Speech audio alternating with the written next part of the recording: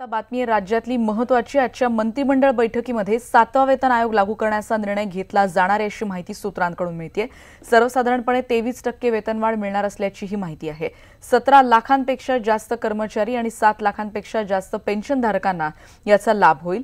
या सगळ्यामुळे दरवर्षी जवळपास एकवीस हजार पाचशे तीस कोटींचा बोजा हा सरकारी तिजोरीवर पडणार आहे.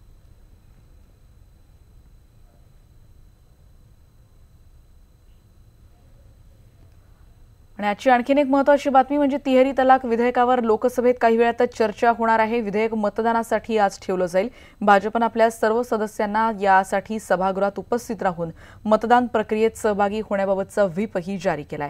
त्यामुळे तिहेरी तलाकचं विधेयक लोकसभेमध्ये पास होणार का याकडेही आता लक्ष लागलेलं आहे. काही वेळातच या चर्चेला सुरुवात होईल.